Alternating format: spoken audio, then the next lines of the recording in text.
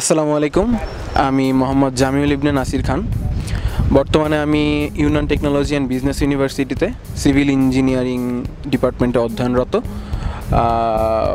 মূলত এই বছরের মার্চ সেশনে আমি এসেছি। আর আমাদের চাইনিজ ল্যাঙ্গুয়েজ থেকে শুরু করে সিভিল ইঞ্জিনিয়ারিংয়ের মেজর ক্লাসগুলো আপাতত শুরু হয়ে গিয়েছে। আর ক্যাম্পাস নিয়ে বলতে গেলে বলা যায় অসাধারণ একটা ক্যাম্পাস। যার তুলনা শুধু এই ক্যাম্পাস দিয়েই আমি করব, অন্য কোনো ক্যাম্পাস দিয়ে আমি করছি না। এখানকার শুধুমাত্র ইন্টারন্যাশনাল ডরমেটরি আপাতত সেখানে কাজ চলছে।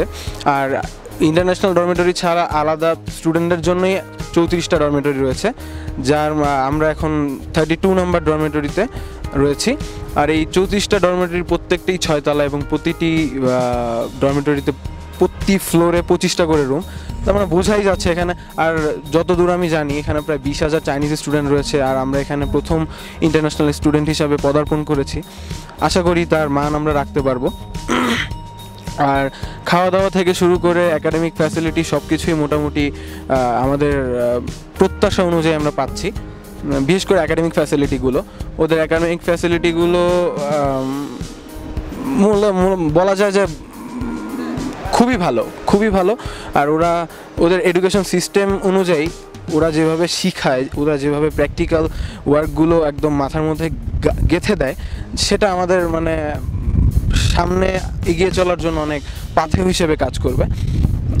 তো সর্বোপরি আমি বলতে পারি যে এই বিশ্ববিদ্যালয়ের এই অসাধারণ একটা পরিবেশ অসাধারণ একটা ক্যাম্পাস, অসাধারণ একাডেমিক ফ্যাসিলিটি অসাধারণ স্পোর্টস ফ্যাসিলিটি এখানে ইনডোর স্টেডিয়াম রয়েছে basketball ground badminton ground boxing ground football ground racing track এই এই মানে ওভারঅল একটা যে এনভায়রনমেন্ট সেটা আমাদের পড়াশোনা থেকে শুরু করে সব কিছুর জন্য খুবই দারুণ একটা প্রভাব ফেলবে, যার কারণে একটা স্টুডেন্টের বোরিং লাগা বা খারাপ লাগার যে অনুভূতিটা কাজ করা করে থাকে সাধারণত যে এত দূর থেকে, এত বছরের একটা রাজ্য, এত বছরের একটা চেনা জানা পরিবেশ ছেড়ে একটা নতুন পরিবেশে এসে খাপ খাইয়ে নেওয়া, এই পরিবেশগুলো তাকে খুব সহজেই আকৃষ্ট করবে এবং সহজেই তাকে মানিয়ে নিতে মানে সাহায্য করবে।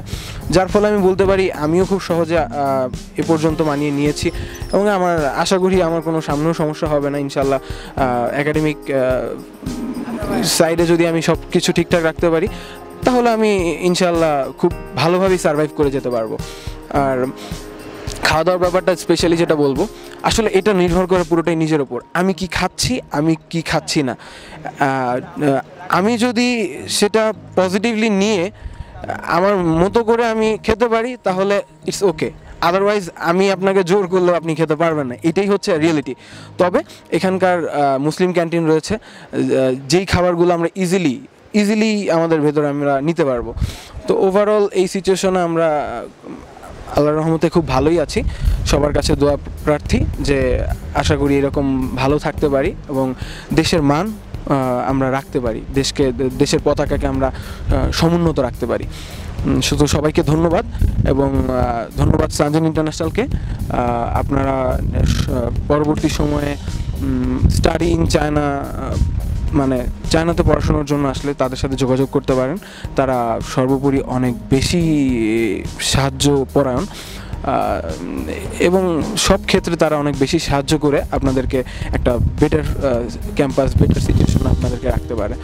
আর আর নিজেদেরকে তো ঝালাই করে নেওয়ার একটা সুযোগ সুযোগ সব ক্ষেত্রে আছেই। তো ধন্যবাদ, এই বলে আমি আমার বক্তব্য শেষ করছি। খোদা হাফেজ।